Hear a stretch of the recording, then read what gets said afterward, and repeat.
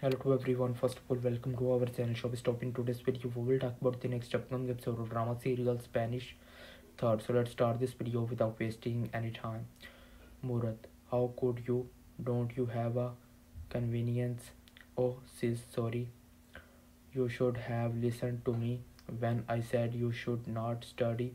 Murat, you are my brother. Just try to convince dad that I don't have to get married. I can't do anything, Zena, whatever dad say goes.